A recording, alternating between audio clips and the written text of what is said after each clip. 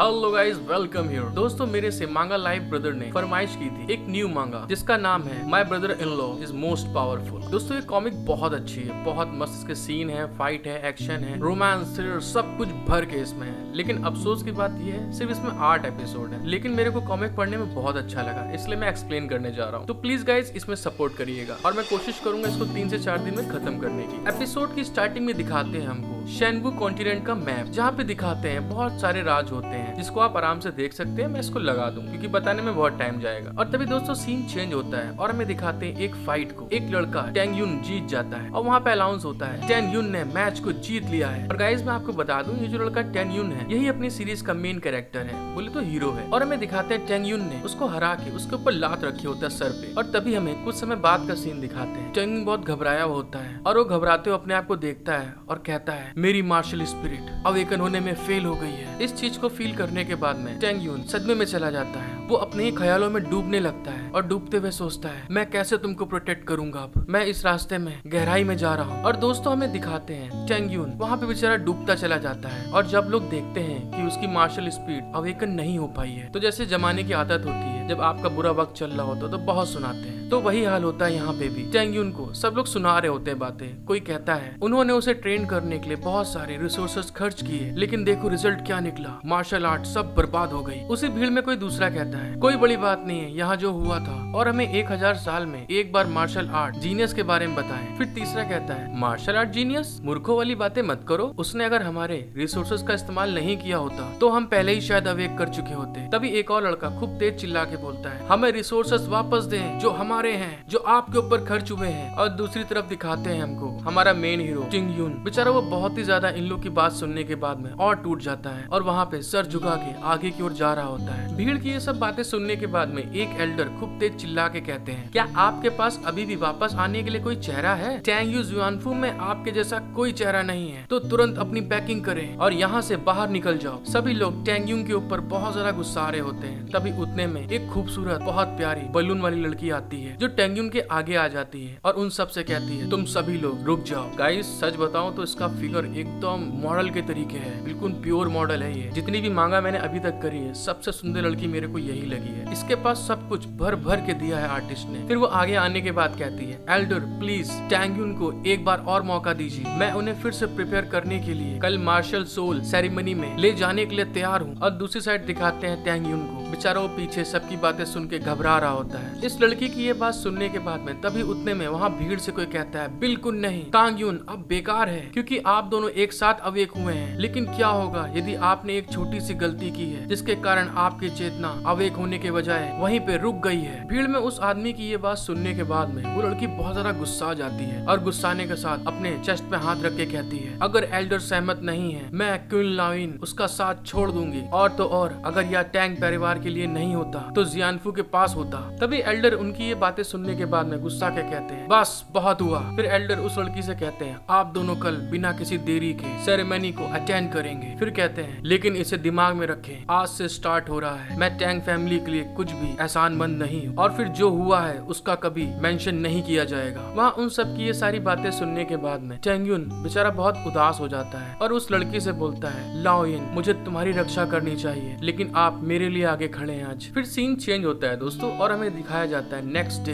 एनलाइनमेंट platform और दोस्तों, ये जगह वो होती है जहाँ पे इन दोनों की सेरेमनी होने वाली होती है मार्शल स्पिरिट को अवेक करने की. और फिर दोस्तों, में अगला दिन दिखाते हैं, वहाँ पे खूब ढेर सारे जितने भी सेट के डिसाइपल्स होते हैं, इकट्ठा हो जाते हैं. और तभी उनमें से एक बात करता है, वो कहता है, हे, ये दो लोग कौन है जो यहाँ पे बैठे हुए हैं? दूसरा आदमी उनकी तरफ़ उंगली से इशारा देते हुए कहता है, इसके बारे में आप कभी नहीं जानते हैं? टैंग यून एक पुराना मार्शल आर्ट जीनियस जो कभी हमारे जियानफू से संबंधित थे, लेकिन अब फिर बताता है, वह अब हार गया है और सिस्टर यिन की फैमिली की एकमात्र ऐसी फैमिली है, जिसने उन्हें री अवैक करने के लिए फिर से एक बार आगे बढ़ाने के लिए ज़ोर दिया है। कितनी शर्म की बात है। और तभी दोस्तों वहाँ पे दिखाते हैं एक लड़का, जो वहाँ पे बड़े एटीट्यूड में दो लड़कियों के साथ खड़ा हुआ होता है और वो उनकी तरफ़ देखते हुए कहता है, आखिरकार टानियन आपने मुझे इस पल के लिए बहुत वेट कराया है। तीन साल पहले का बदला आज खत्म होने का समय आ गया है। और गाइज़ ये कहने के साथ में जो छोटी लड़की होती है, उसके कांधे में वो गुस्से में ज़ोर से दबा रहा होता है, जिससे कि उस लड़की को बहुत दर्द होता है। फिर सीन हमारा मेन हीरो पे आ जाता है। हमें दिखाते हैं अपना टैंगयून और मिस लाओइन दोनों बैठे हुए कल्टीवेशन के लिए बैठे होते हैं अपनी स्पिरिचुअल मार्शल स्पिरिट को अवेक करने के लिए। तभी टैंगयून कहता है लाओइन और लाओइन को दिखाते हैं कि वो स्माइल कर रही होती है। और टैंगयून बोलता है, आज तक आपने जितना भी मेरा साथ दिया, मेरे को प्रोटेक्ट किया, उसके लिए आपका बहुत बहुत थैंक यू और ये कहने के साथ में वो दोनों ध्यान लगाने लगते हैं मेडिटेशन करने लगते हैं। जब वो मेडिटेशन कर रहा होता है, तभी उसको अपने एल्डर की बात याद आती है। वो टैंगुन को बताते हैं, आपको दो व्यक्तियों के एक साथ अवेक होने की संभावनाओं के बारे में अवेयर होना चाहिए। आप लाइन को अवेक होने से रोकेंगे। एल्डर की ये बात सुनने के बाद में टैंगयून बेचारा बहुत ज़्यादा टेंस्ड हो जाता है। फिर एल्डर उससे बोलते हैं, मैं उसे विश्वास नहीं दिला सकता। यदि तुम सच में उसकी परवाह करते हो तो कल सुबह अवेकन की जगह से वहाँ से चले जाना और उस मौके को अपने दम पर छोड़ देना। या आपके लिए सॉर्ड हाउस के रिसोर्सेस को वर्षों से बर्बाद करने के लिए एक भुगतान का समय है। फिर हमको दिखाते हैं टैंगयून मेडिटेशन करते हुए सोचता है, आपको ये कहने की ज़रूरत नहीं है। मैं इससे अभी बाहर हो जाऊँगा। और तभी ये सोचने के साथ में टैंगयून अपनी आँख खोलता है और आँख खोलने के बाद सोचता है, मुझे आखिरी बार तुम्हारी रक्षा करने दो, लाओइन। और तभी हमें दिखाते हैं ये कहने के साथ में, वो लाओइन की तरफ़ देखता है और मुस्कुरा के कहता है, ठीक है, गुड बाय। और ये कहने के साथ में टैंगयून वहाँ पे खड़ा हो जाता है और एल्डर के बगल से निकलते हुए कहता है, एल्डर, इस चीज़ के बारे में सबको बता दें। एल्डर मुस्कुराते हुए बोलते हैं, आप जानते हैं कि आप क्या कर रहे हैं। और वहीं पे अपना हीरो टैंगयून बेचारा शांति से वहाँ से जा रहा होता है। जब वो उस ग्राउंड की सीढ़ियों से नीचे उतर रहा होता है, तभी आसपास के लोग चिल्ला के कहते हैं, क्विंगलिंग जियानफू का आउटर डिसाइपर टैंगयून इतना मूर्ख है कि वह अपनी मार्शल स्पिरिट को अवेकन नहीं कर सकता। फिर उसी भीड़ में दूसरा कहता है, अब से आपको जियानफू से निकाल दिया जाएगा और आपको वापस आने की अनुमति नहीं दी जाएगी। इन सब की ये सब बातें सुनने के बाद में टैंगयून बेचारा सर झुका के चुपचाप वहाँ से जा रहा होता है, क्योंकि ये सब बातें तो एल्डर नहीं उससे कही होती, जो किसी को बता नहीं सकता। और तभी हमें दिखाते हैं वहाँ पे जितने भी लोग होते हैं, वहाँ पे खूब बड़बड़ा रहे होते बुरी तरीके से। तभी कोई कहता है, तुम इतने जीनियस हो, बस इतना ही कर पाए? दूसरा कहता है, यही तो इसी लायक है ये। कोई और कहता है, तुम वापस चले जाओ।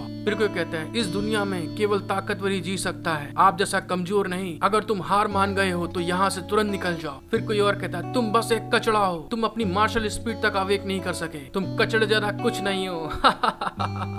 और सब लोग उसके ऊपर बहुत ज़ोर ज़ोर से हंस रहे होते हैं। और हमें दिखाते हैं टैंगयून बेचारा उन लोग के बीच में से चुपचाप एकदम शांति से निकल के जा रहा होता है। तभी वहाँ पे एक डिसाइबल चिल्ला के बोलता है, अरे, वहाँ देखो। और ये कहते हैं, बहुत शॉक्ड होता है। दूसरा कहता है, वहाँ पे क्या हुआ है? और गाइस हमें दिखाते हैं टैंगून भी वहाँ पे देखने के बाद में बहुत ज़्यादा शॉक्ड हो जाता है। तभी कोई चिल्ला के बताता है सिस्टर क्वीन अवेक हो गई है। उनके पास एक आइस फिनिक्स की पावर है। और तभी बताया जाता है the ice phoenix martial spirit यह बहुत ज़्यादा ही स्ट्रॉन्गेस्ट मार्शल स्प्रिट है। और गाइस हमें दिखाते हैं वहाँ पे एक ice phoenix sister sister queen के ऊपर से निकल के बाहर निकल रही होती है जो उनकी मार्शल स्पिरिट होती है। इस चीज़ को देखने के बाद में अपना हीरो टांग यून बहुत ज़्यादा खुश हो जाता है और खुश होकर अपने मन में कहता है कॉन्ग्रेचुलेशन लाओयुन आखिरकार तुमने अपनी मार्शल स्पिरिट को अवेक कर लिया है। तभी दोस्तों में दिखाते हैं टैंग यून को। वो बहुत ज़्यादा ही अपने अंदर से उदास होता है और अपने मन में रोते हुए सोचता है, क्यों? मैं अकेला क्यों जो अपनी एक मार्शल स्पिरिट को अवेक नहीं कर सकता? वो ये चीज़ सोच के अपने मन में उदास होता है, तभी उतने में उसके पीछे एक हाथ आता है, उसके ऊपर अटैक अटैक करने के लिए। टांगयून उस अटैक को सेंस कर लेता है और उसकी तरफ़ देखता है। और तभी दोस्तों, जैसे ही देखता है कि वो अटैक करने वाला है उतने में टांगयून उस अटैक से डॉच कर लेता है। और गाय से हमें दिखाते हैं, ये वही आदमी होता है जो दो लड़कियों को लेकर अपने साथ खड़ा हुआ था। टांगयून उसको देखते हुए कहता है, तुम क्या कर रहे हो? तभी वो लड़का टांगयून की तरफ़ देखते हुए हँसते हुए कहता है, धत तेरे की, तुम तो बहुत ज़्यादा तेज हो यार। फिर कहता है, आपको जियानफू से निकाल दिया गया है। इसीलिए यहाँ पर आपको किसी की आँखों में धूल झोंकने की ज़रूरत नहीं है। तुम भाड़ में जाओ। उस लड़की की ये बात सुनने के बाद में टैंगुन बहुत ज़्यादा शॉक्ड हो जाता है और शॉक्ड होकर उससे कहता है, सच बताओ तुम किस पर भोंक रहे हो? या तुम किसके बल पर इतना ज़्यादा उछल रहे हो? कमज़ोर लड़के, मुझे यह बताने की ज़रूरत नहीं कि मैं जा रहा हूँ या नहीं। और अब जब मैं जा रहा हूँ और ये कहने के बाद में टैंगुन वहाँ से पलट जाता है जाने के लिए। तभी वो लड़का बोलता है हम्म तुम लूजर आपको लगता है कि यह तीन साल पहले की बात है? और तभी टैंगुन पलटता है उसकी तरफ़ और उससे कहता है, वो कितना समय बिताती है? अगर मैं ऐसा कहूँ की लाओइन सच में बहुत बड़ी अंधी हो गई है। और गाइस ये कहने के साथ में ही वो लड़का उछलता है टैंगुन के ऊपर अटैक करने के लिए और तभी उससे कहता है, आपको लाओइन को छोड़ देना चाहिए ताकि मैं उसके साथ मज़े कर सकूँ। बस मुझे दे दो, तुम्हारे पास क्या है? उसकी ये बात सुनने के बाद में टांगुन गुस्से में कहता है, तुम बदतमीज भाड़ में जाओ। और तभी वो अपनी आँखें खोलता है और उसको इन्फॉर्मेशन दी जाती है martial spirit detected serpent shadow क्या आप इस मार्शल स्पिरिट को कॉपी करना चाहते हैं? यस या नो उसके मन में जैसे ही वो सवाल आ रहा होता है, उसको देख रहा तभी उतने में ही वो लड़का उसके मुँह के पास ले आता अपने घूसे को और टांग्यून उस घूसे को पकड़ लेता है। और पकड़ने के बाद गुस्से में कहता है, ओए तुम, ये सब बातें तुम किससे कह रहे थे? और ये कहने के साथ में ही टांग्यून बहुत ज़्यादा गुस्सा आ जाता है और उसका एक इविल फेस दिखाया जाता है। उसको इतने ज़्यादा गुस्से में देखने के बाद में वो जो लड़का होता है, वो घबरा जाता है और घबराते हुए कहता है, तुम क्या करने वाले हो मेरे साथ में? फिर कहता है जाने दो, मेरा हाथ छोड़ दो। तुम्हें लगता है कि तुम अब भी मेरे विरोधी होने के लायक हो? वो ये बात बोल ही रहा होता, तभी उतने में दोस्तों दिखाते हैं चांग यून ने। उसके ऊपर अटैक करता है, लेकिन तभी उतने में वो जो लड़का होता है, उस अटैक को डॉच करते हुए पीछे जाके जम करके खड़ा हो जाता है। और वहाँ खड़ा होने के बाद बोलता है तो क्या हुआ अगर आपकी मार्शल आर्ट बहुत मज़बूत है? लेकिन आज का समय मार्शल स्प्रिट का है। और फिर हमको दिखाते हैं, ये बात बोलने के साथ में वो जो लड़का होता है, अपनी मार्शल स्प्रिट को एक्टिव करने लगता है और कहता है मार्शल स्प्रिट रिलीज़ और हमें दिखाते हैं उसके चारों तरफ़ से। एक स्नेक टैग मार्शल स्प्रिट निकलना स्टार्ट हो जाती है। टैंगन उसकी इस मार्शल स्प्रिट को देखने के बाद में हंसने लगता है। मार्शल स्प्रिट और उसके बाद कहता है, मुझे आश्चर्य है, आपके पास ये वाली मार्शल स्प्रिट है. और गाइस ये कहने के साथ में ही टेंग्यून ने, जो उसकी मार्शल स्प्रिट होती है, उसको कॉपी कर लेता है और वो भी उसी तरह से वही मार्शल स्प्रिट निकालता है। लेकिन बस इसका कलर अलग होता है, ये पर्पल कलर की होती है। और टेंग्यून हंस रहा होता है उसको देख के। सारे लोग उसकी मार्शल स्प्रिट को देखने के बाद में शॉक्ड हो जाते हैं और घबराते हुए कहते हैं, वो तो टेंग्यून है, क्या वो अवेक हो गया था? और तभी गाइस हमें दिखाया जाता है, वो दोनों एक दूसरे के ऊपर अपनी मार्शल मार्शल स्पिरिट को रिलीज़ कर देते हैं अटैक करने के लिए, जो कि एक दूसरे की मार्शल स्पिरिट को टच करते हुए एक दूसरे के ऊपर जारी होती है। और हमें दिखाते हैं जो टेंगुन की पर्पल कलर वाली स्नेक मार्शल स्पिरिट होती है, वो उस लड़के के एकदम करीब आ जाती है और उसके करीब आने के बाद में वह सीधे उसके ऊपर जाके लड़ती है बुम और वो लड़का चिल्लाता है आ और वहीं चिल्लाते हुए ज़मीन पे गिर जाता है। और दूसरी तरफ़ उस लड़के की मार्शल स्प्रिट टैंगुन की तरफ़ आगे बढ़ रही होती है अटैक करने के लिए। लेकिन अपना हीरो टैंगुन उसका मार्शल आर्ट बहुत मज़बूत होता है, जिस कारण से कि वो अपनी यिंग यांग मार्शल आर्ट को यूज़ करते हुए, जो उसकी स्प्रिट होती है, उसको घुमाना शुरू कर देता है। और लास्ट में दिखाते हैं हमको, वो उसकी मार्शल स्प्रिट को वहीं पे अपने हाथों से दबा के खत्म कर देता है। वो लड़का उसी घायल हालात में खड़ा होता है। और टैंगुन से गुस्साते हुए कहता है, तुम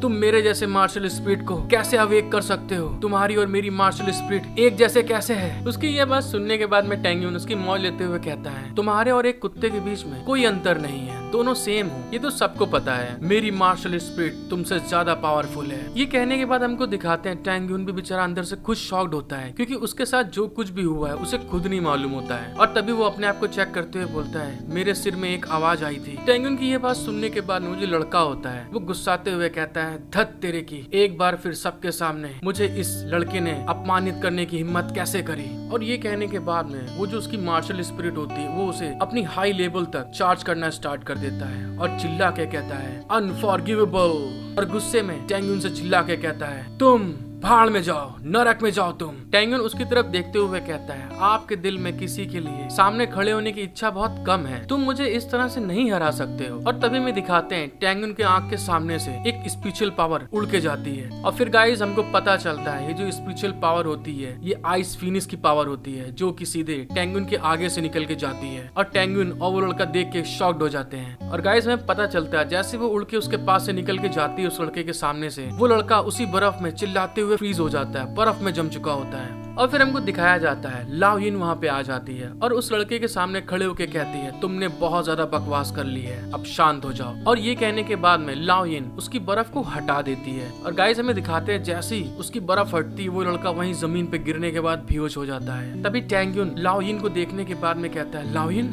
तुम?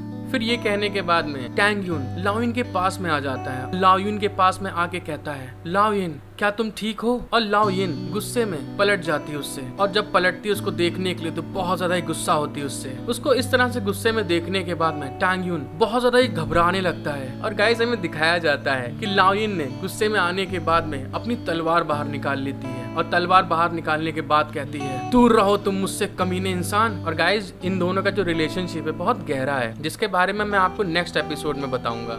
अगर आपको एपिसोड देखने में अच्छा लगा हो तो please guys subscribe like share comment करके बताइए मुझे कि आपका एपिसोड कैसा लगा। Thank you for watching my video love you all